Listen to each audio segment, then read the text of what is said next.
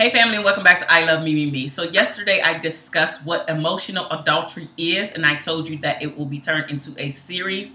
Today is the second video in that series. So just to recap yesterday I gave you the definition of what emotional adultery could be and I also gave you four reasons why um, it hurts your relationship. So definitely I will link that video down below in the description box and of course at some point it will be floating up here. After this video you go ahead and check this out and then continue to come back. Hit that red subscribe button because there will definitely be more videos in this series. Now depending on when you're watching this video if all of the videos have been released there will be a playlist at some point added to the videos as well. So definitely stick around and check out the playlist. Check out all of those to see if you're actually committing emotional adultery or if there are some signs that you are noticing with your spouse, your partner, it may be they're actually the ones who's committing emotional adultery. So let's go ahead and jump into this video right after this.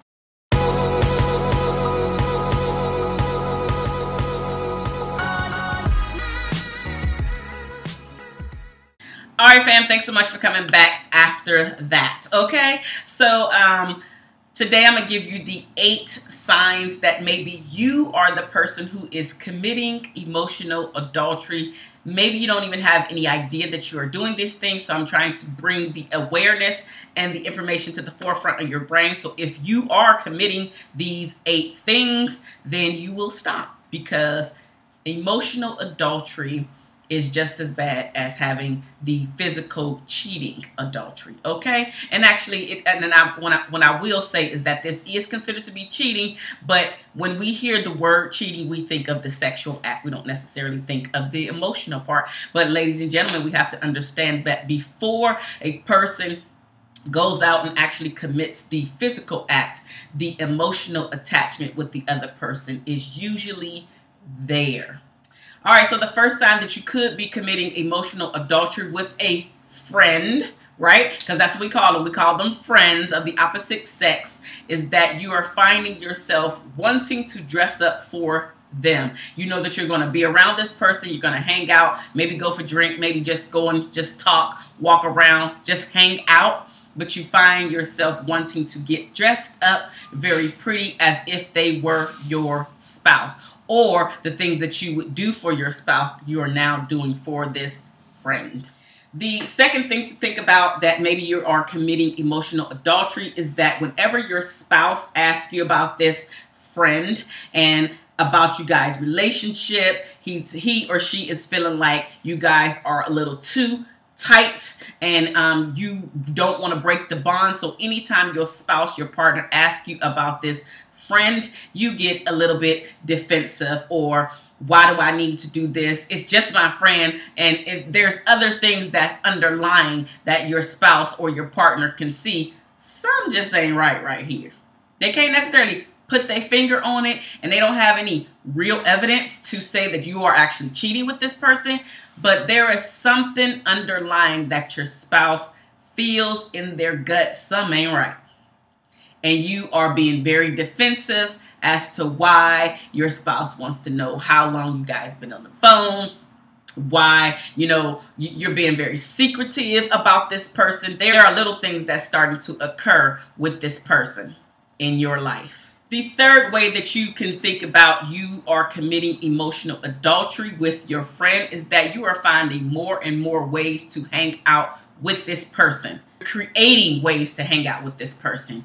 You're making up stories to say, hey, let's go meet here. Let's go get drinks here. Let's go do this. Let's go to the concert. Let's do whatever. Let's find ways to talk on, to, on the phone so we can get our meeting together on us meeting outside of the household with us together. So you're creating multiple ways to spend more and more and more.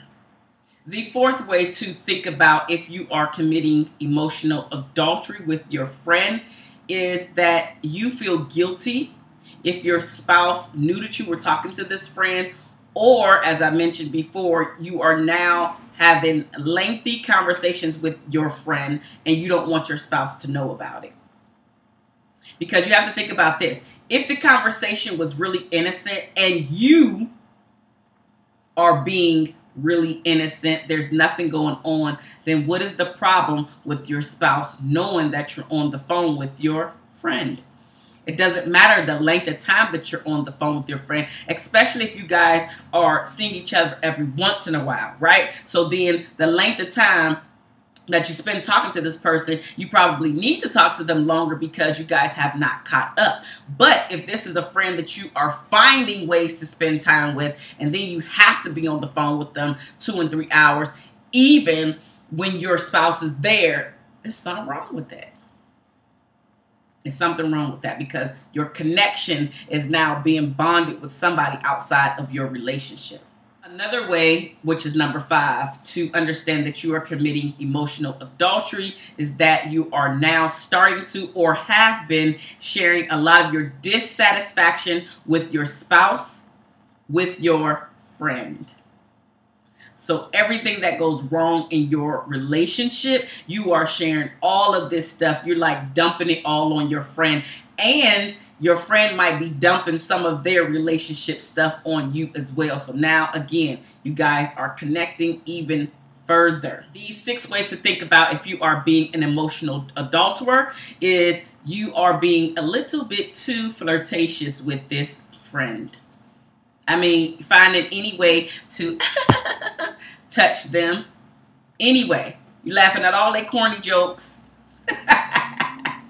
right? You're finding any way to tell them how fine they are, how beautiful they are, how sexy they look in those jeans. You being you you crossing the line.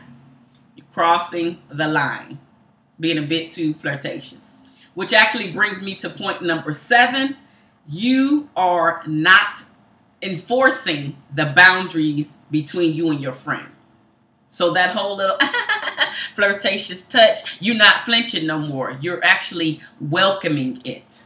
The boundaries are now being crossed. You know it, your friend knows it. It's just a matter of time. Y'all inching toward the physical.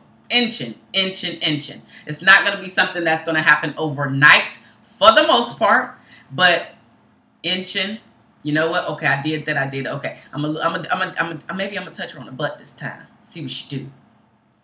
Just inching, just testing the waters. The eighth thing to consider as far as you committing emotional adultery is now you feel in your heart of hearts that your friend understands you much better than your spouse does.